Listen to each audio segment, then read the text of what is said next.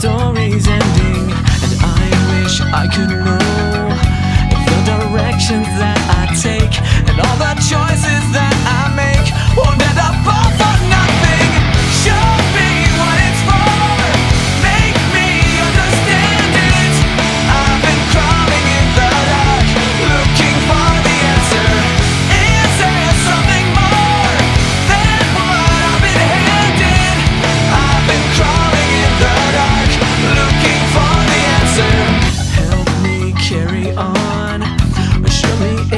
okay to